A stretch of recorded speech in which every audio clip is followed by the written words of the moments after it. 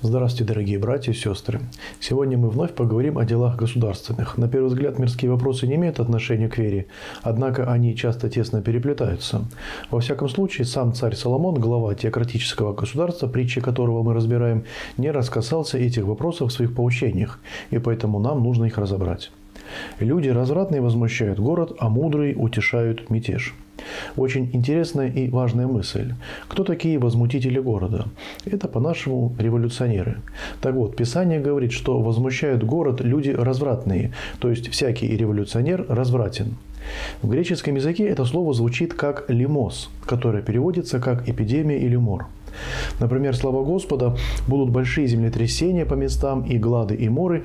Последнее слово «моры» в греческом обозначено именно этим словом – «лимос». А в притчах это же слово является характеристикой революционеров, возмущающих город. Интересный факт, не правда ли? То есть мятежников, возмущающих город, Соломон, во-первых, приравнивает к болящим, а во-вторых, плоды их деятельности он сравнивает с эпидемией, такие как чума, например. И выходит, что революционер – это неконтролируемая чума, тиф или холера, уносящие жизни многих на своем пути. Это подтверждают исторические факты. Не было ни одной революции в истории мира, которую можно было бы назвать благой, хоть все они преследовали благие цели, но осуществлялись разрушительными средствами. Возьмите Великую буржуазную революцию или нашу отечественную 17 года, или современные цветные революции, по плодам своим все они действительно сравнимы с эпидемией, а порой и хуже. И вот современный синодальный перевод называет этих людей развратными. Как мы сказали, в греческом языке это слово «лимос».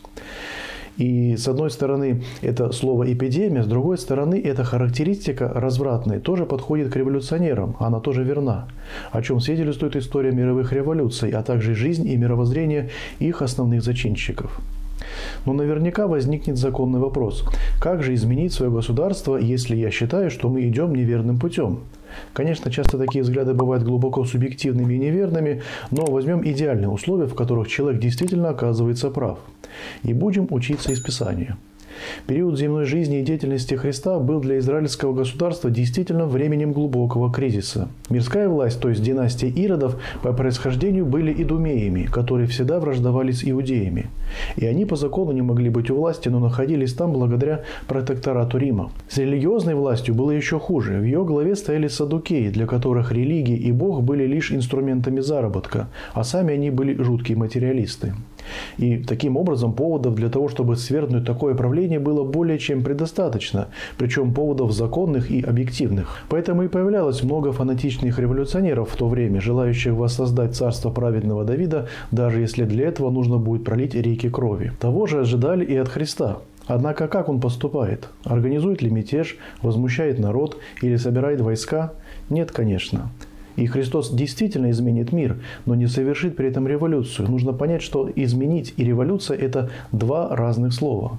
И главным оружием Христа будет слово и собственный пример. Именно этими средствами Христос воздействовал на апостолов и всех тех, кто окружал его. И именно через эти невещественные оружия произойдут будущие изменения. Вот единственный и правильный пример для каждого христианина, как должно поступать.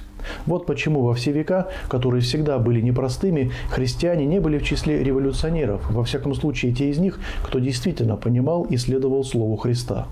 Вот почему апостол Павел призывал к повиновению властям, даже если они языческие. Дело в том, что любое внешнее изменение должно предваряться изменением внутренним. Дух созидает себе форму. Общество и народ должны быть готовы принять изменения, а для этого всегда необходимо внутреннее преображение человека, что в свою очередь требует времени. Христос умел ждать, и с момента его распятия до того, как Римская империя стала христианской, пройдет целых три столетия. Триста лет. Именно столько потребовалось для внутреннего преображения массы людей. А революционеры ждать не хотят, они этого не умеют делать. И именно поэтому путь революции заведомо обречен, поскольку изменение лишь внешней формы без внутренних перемен всегда приводит к различным уродствам. Помните, как в Евангелии говорится, не вливают вина молодого в мехи ветхие и не пришивают новую заплатку к ветхой ткани. Итак, в то время как люди развратные, подобно эпидемии, возмущают город, люди мудрые, в свою очередь, утешают мятеж.